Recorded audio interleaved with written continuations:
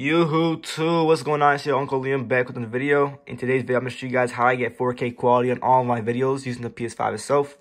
Pretty pretty straightforward to be honest.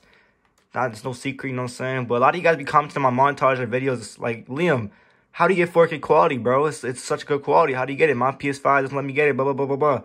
Pretty much, I don't even know. I'm going to tell you guys straight up. I'm going to I'm go show you guys all of my settings I got. So, for example, like capture video clip format, I keep this on most efficient. Uh, these vary. Like sometimes I put it on in case I want to record audio, whatever. But I'm gonna show you guys pretty much my video clip formats and everything I have, my settings, so you guys can like copy it down. Maybe it'll give you 4K quality. But um, stream video. That's all I got on. I don't have any other like HDMI ports to make it better quality. I have like an Asus monitor. It's just only 60 FPS, 60 uh 60 hertz. So yeah. So that's that. But I guess you can set the main things on Share Factory. So go on your Share Factory when you're making your videos. New project, whatever. Do whatever you want to do. Add a clips in. I'm going to add a couple, whatever. I got recent ones here. COD. Whatever. Alright, so you edit this, whatever, blah, blah, blah. I'm not going to obviously edit it because there's no point because it's going to take too long. Alright, so you're playing whatever, edit the video. When you're about to upload your video, press options right here. Press options go to your export settings and put it on your highest quality. This is why I have it on all the time before I upload and render my videos to YouTube.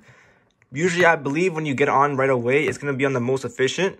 So make sure you turn it on to this, the highest quality. Um, It will take a lot of space when you do actually download the video. So every time you guys, whatever, share video clip, whatever, it'll render, right? Getting ready to prepare for YouTube, whatever. When that's fully rendered, it's going to be actually on your share factory as in one clip. So this whole thing is going to be one clip. So you're not going to see these little splits, whatever. It's going to be one whole clip like it's like a separate video itself. So that's actually going to take up space on your PS5 itself. So you have to make sure you delete it because when when you, when you upload on the highest quality of stuff, it's like a lot, a lot, a lot of space, bro. But pretty much that's a trick how I get my 4K quality. Again, export settings, go most or highest quality. 3840 by 2160. So that's pretty much 2160 by 60 FPS on YouTube itself. So if you guys of my montages, click the quality, you'll see the highest one is 2160 by 60 FPS. That's the trick how I get it. Um, but yeah, when you go out, when you guys actually do go ahead and render this out, you post on YouTube, it's gonna be 60 or uh, 4K quality pretty much.